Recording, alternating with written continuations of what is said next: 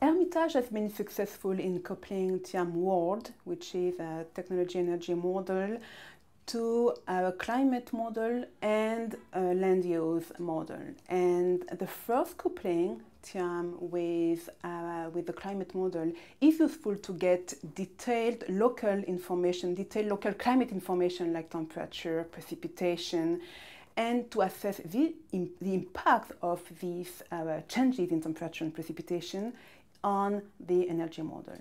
The second, on the energy system, sorry. And the, the, the second coupling um, of, uh, of TIAM, the energy model, with the land use model is useful to be able to integrate all the land use dynamics like a competitive use of lands, emissions, variable um, variable crop yields in the supply of biomass to be used in the energy system.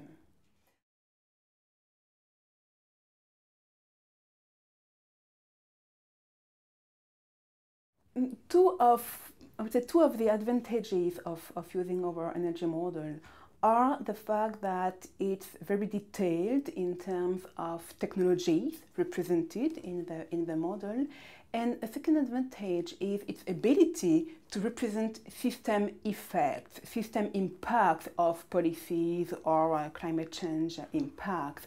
Uh, when I say system effects, I mean domino effects. For example, if there is an increase of electricity consumption in the residential sector, it's possible that there is a decrease of electricity consumption in industry, for example. So looking at only buildings could be misleading. It's important to look at all the energy, the energy system. And, and we think it's important to provide, to offer decision makers a full view, a complete view of the consequences of their policies.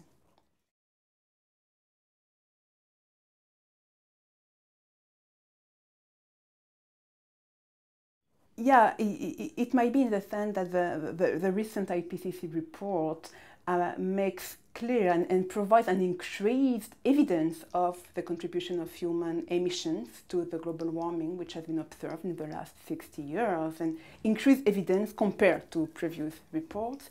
And it also states that limiting climate change will require a substantial and sustained reductions, reduction in greenhouse gas emissions.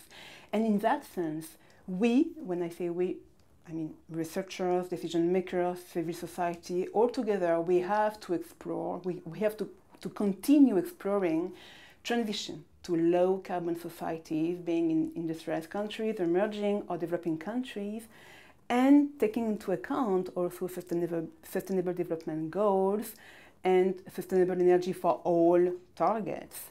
So on our side, we will certainly continue making some analysis in that direction with the model as it was enhanced in ERMITAGE.